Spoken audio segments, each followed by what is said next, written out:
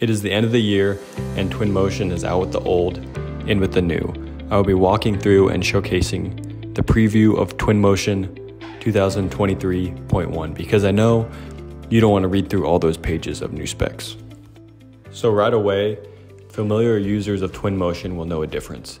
When you open up the application, you will be greeted with test templates and a new home screen.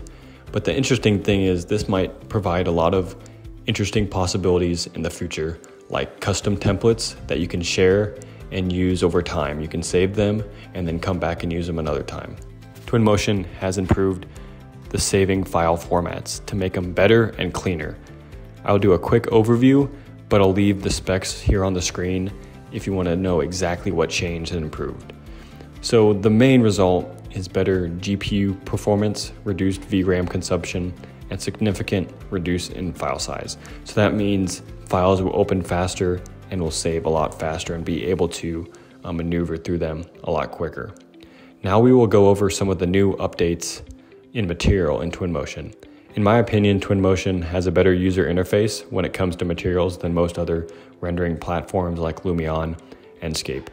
It is really helpful to be able to apply materials to object instead of applying new materials and replacing all the existing material.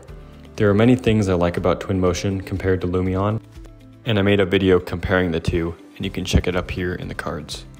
So there are some new materials that were added in the new update, like fabric, leather, plastic, and metal. Now these were all existing, but there's new and different iterations of materials that you can use. These materials have been revamped as well as added a bunch of new materials. You can see that this new metal aluminum texture is pretty sick. And then the leather has these dimples and divots within them. And all these materials are just compiling a huge library that's already existing. As you can see, um, there's more than just these four materials. As we move on, there's more carpet materials and also this metal chain link material that as I zoom in, you can kind of see um, just the detail and attention to how that material would show up in a render, which is pretty awesome. With the carpet, you're able to actually adjust the length of strands and the height of the carpet tread, which is crazy because that's so realistic and just provides that next level of detail. These neon boxes, these light boxes are super cool and uh, you can change the color of these and these are just great.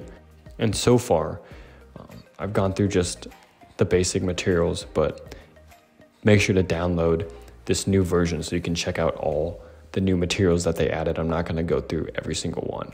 But another thing they updated was the glass. And so they really worked on the opacity masking.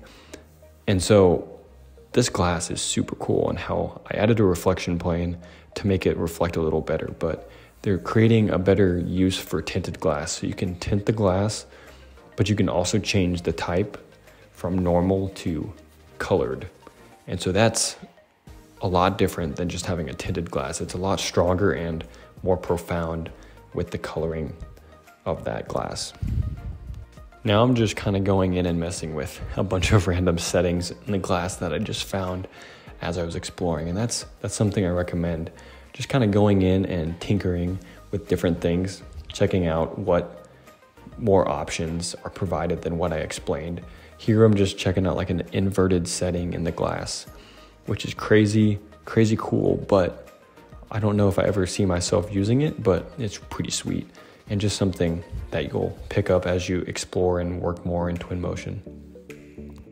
So with the car paints, there's not a lot changed to the existing cars that you get from Twinmotion, but when you import cars from the Sketchfab library, you're able to go to materials and then the car paints folder, and you can apply these paints to the Sketchfab cars. And now these paints are super crazy. They're chromatic, they have all sorts of different patterns and schemes, a lot better than the, the basic Twinmotion cars and the colors that they give for those cars. You cannot use these car paints for the basic Twinmotion car models from my understanding. But anything you import from the Sketchfab library can be altered with these paints. Now I'm gonna put this car in another feature that was added to Twinmotion called the cycloramas. I don't know if I pronounced that correctly, but basically it's like a studio environment slash backdrop. It's much more helpful for product design and not really architecture. But as you can see, it kind of creates a background and then you can add like an HDR studio lighting to it and it gives a great effect. And you can see it on the car and how the lighting is interacting with all these different car materials. I mean, I'm just really having fun just exploring all these different things. This car feature is really cool to me, and I'm definitely gonna go crazy on some of the cars in my next project. You can find the Cycloramas option underneath tools in the library, and they have different setups used for different purposes. Comment below what your major or desired profession is. I want to see what kind of audience has made it this far, if there's a lot of people using Twinmotion for architecture or other fields. In that same Tools tab, you can check out this LED wall, which at the moment is just showing a gradient pattern of different colors, but can really be used for a multitude of uses. The main primary is for videos and digital media that you may show on your building or just in general. You can actually change the angle of the LED wall. It comes in a slight convex shape, but you can alter it to be flat or concave as well. You can also change it to be more like a green screen, or you can add a video to it. And these are all really cool features for more digital types of media. This brings me to the final point I wanted to touch on, which is OpenVR. They have made the update in Twinmotion to allow all VR headsets. They're all supported. And so when you're doing walkthroughs or sharing videos with clients or just people in general, you can use any type of headset. And just that VR feature is super cool in Twinmotion. As you can see in the video that I'm showing, you can edit materials, doors open automatically for you if you set them properly. And just the whole way architecture is transitioning and how Twinmotion is using their rendering engine to benefit this industry. So, as New Year's rolls around, let me know in the comments if there's any other software programs or updates that you want me to look at and what your favorite new feature of this Twinmotion update was. Now, I'll leave you with a little motivation for the new year.